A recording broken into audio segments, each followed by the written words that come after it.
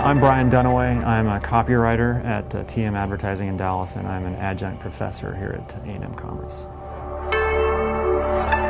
Uh, hi, I'm Kiran Koshy. I'm an art director at the Richards Group, and I volunteer and help Brian teach uh, the art direction class at my alma mater, A&M Commerce.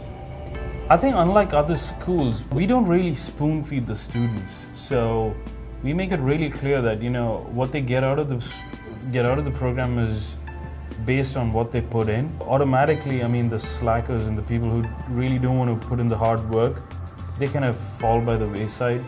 And it's the ones who are really, really interested in art direction, who are willing to put in the late nights and work harder, uh, they really shine.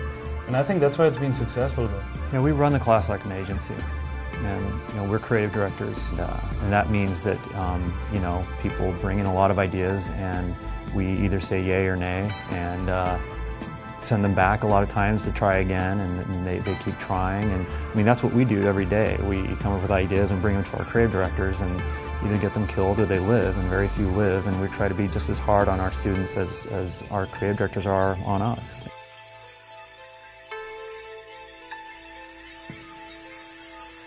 For me, it was a way to give back to students, and um, I'm, I'm, just a big believer in public universities, and you know, uh, you get kids who don't come from you know really privileged backgrounds, and you know you can shape their lives, and if they're willing to work hard, you can you, can really see them kind of improve and do things that, uh, you know, that they wouldn't have imagined earlier.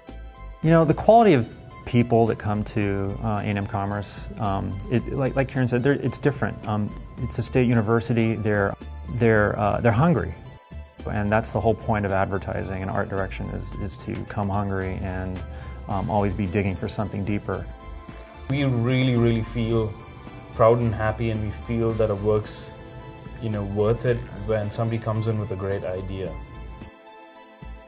and uh, I guess awards when they win something big because it's pretty competitive. It feels good. Yeah, when they win an award, it feels really, really good. Really good because we know it's going in their book and probably get them a job someday.